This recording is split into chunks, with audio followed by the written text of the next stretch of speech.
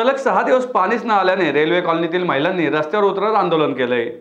पुण्यातील ताडेवाला रोड भागातील आरबी दोन ही रेल्वे लाईनची कॉलनी आहे. इथे अनेक महिन्यापासून पाण्याचा प्रश्न भेडसावतो आहे. पण आता सलग सहा दिवस पाणीच न आल्यामुळे इथल्या रहिवाशांचा संयम संपला आणि त्यांनी पुण्यातील डिव्हिजनल रेल्वे मॅनेजर यांच्या ऑफिसवर हांडा मोर्चा काढला. या कॉलनीमध्ये राहणारे सगळे रेल्वे कर्मचारी आहेत. पाण्याच्या प्रश्नामुळे त्यांना अनेक समस्या भेडसावतात पाण्याच्या कमतरतेमुळे महिलांना जास्त त्रास होतो. पाण्याची सोय करून घरातली कामे कशी करावीत असा प्रश्न त्यांच्यासमोर येतो. त्यामुळे त्यांनी डी आर एम यांच्या कार्यालयावर मोर्चा काढला. यात त्वरित लक्ष घालून हा प्रश्न सोडवावा अशी मागणी त्यांनी केली. की वेळेच्या वेळेला कर्मचाऱ्यांना पाणी द्या आणि ते एवढं व्यवस्थित द्या की एक तास तरी द्या पाणी. फक्त दहा मिनटं पाणी येतं.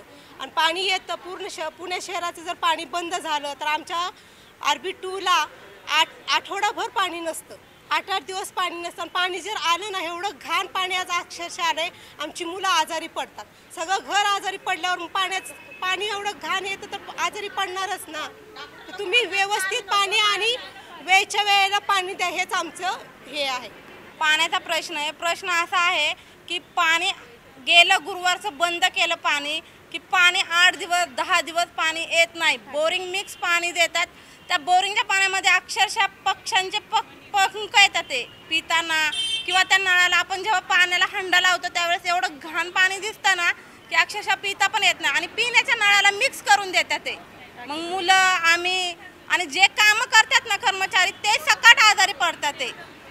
मग कसं करणार पाणी? टाकी धुवत नाही आहे आणि पाण्यावाल्याला जर म्हणलं ना पाणी सोडा. तर सोडत नाही. आणि अवेळी पाणी सोडतो. कधी पहाटे पा कधी रात्री साडे अकराला. पाण्याचा प्रश्न असा आहे की वेळेवर पाणी देत नाही. दिलं तर दहा मिनटं किंवा पंधरा मिनटं. मग पाणी दिलं पाहिजे तुम्ही निदान एक तास आम्हाला पाणी द्या.